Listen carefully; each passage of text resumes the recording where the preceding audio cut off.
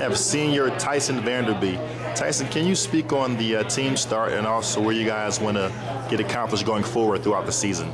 Absolutely. Um, as of right now, uh, we just had our first meet. We took third only to a D1 U of M and um, a really tough Spokane school. And so uh, it's actually the best start we've ever had, and our team right now is looking the best it's ever been. So um, I have pretty high expectations for all of us.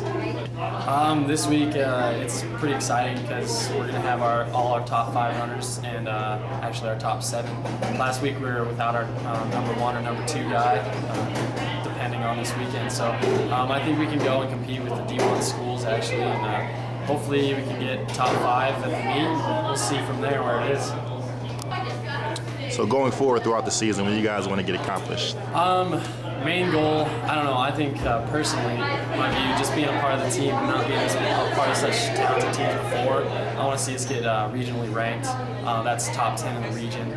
Um, I think it's an extremely realistic goal for us. And um, ultimately, to go to nationals, which you have to get top five in the region. So um, for starters, top 10, and then ultimately at the end of the season, hopefully top five in the region.